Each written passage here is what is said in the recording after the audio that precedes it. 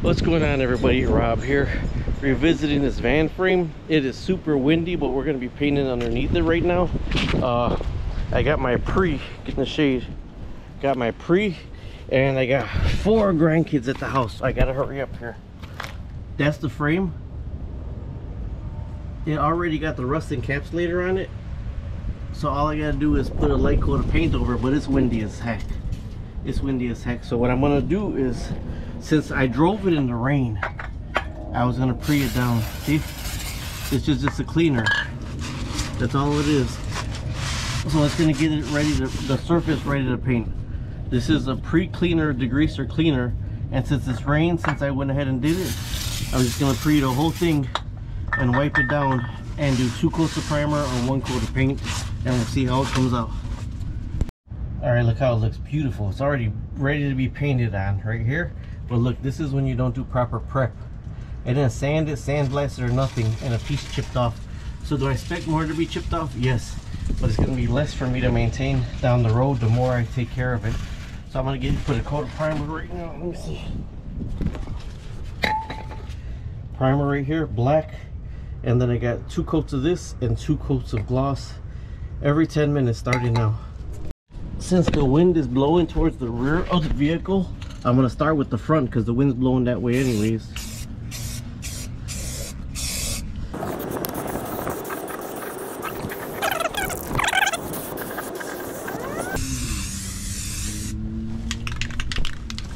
And after I finish this, it's gonna be 10 minutes in between. One more coat of this, and then one more coat of the, uh, and then two coats. Oh, I just got that on my face. I blew this.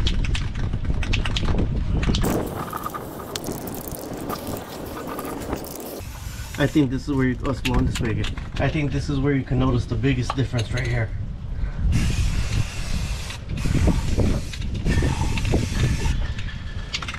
Man, it is windy out today.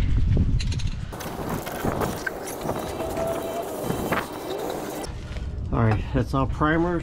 I got uh, two coats of this and then uh, one coat of gloss. All right, I'm top coat, I'm, I'm gloss uh, enamel, acrylic enamel, enamel. Why don't I put a rubberized undercoating? Because I feel like the metal needs to breathe. All right, so that's perfectly solid except for that little chip, but I painted over it. I was actually gonna tape that off, but I just don't got time. I got four grandkids with me. This came out completely amazing. Looks brand new. And this is the uh, primer. So now I'm gonna go ahead and hit it with gloss enamel. I don't like that they got the new different fans. One, two, three, four. I don't need all that crap. All right, the wind's still blowing backwards, so I'm starting from front to back. Oh man, the wind just blew right in my face. I did the front when I had the front tire off. See, that looks amazing already.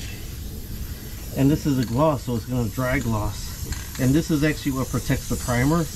And if you want to do really good, top coat it with a, a top coated with a, a automotive gloss and it's really solid and durable. So i've heard sure to say that's what it's actually going to look like. Man the wind's blowing back in my face. It is a super windy day today. That's what my frame's looking like right now. You see them blowing right at me. I probably got to clean my whole camera lens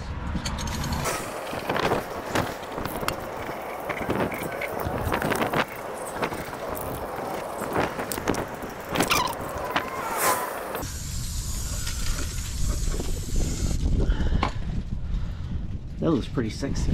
I don't care about the drips. I don't care about anything. I just care about protecting it from rusting anymore. So we'll come back in a little bit and check it out. One more coat, but I'm not going to show you the coat. I put it on three and sprayed it. Then also you got to check it next year. Oh man, you can't even see. I painted over my whole lens over here.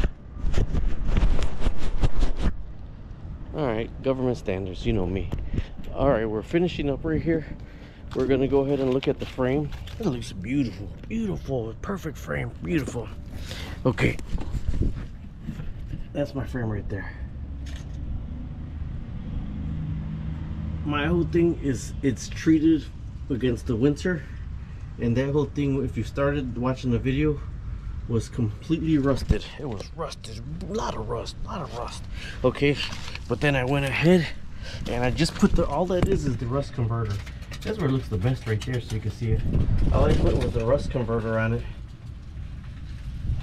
And then I know I could have taped all that off and made it look nicer.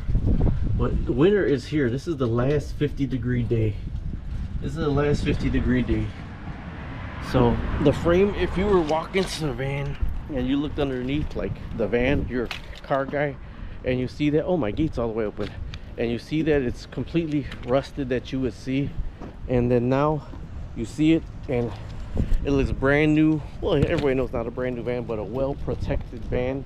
And why I didn't use the rust encapsulator is makes a rubber film over it because I feel moisture gets between the encapsulator and the frame so if moisture gets in there it's still gonna rust in my eyes and I have a lot better thing which is treating the rust converting it fast etching it something like that than uh, primer gloss or primer paint gloss and then uh, you're gonna get little patches two three four five years and then it's just those little patches that you maintain but the rest of the frame stays nice.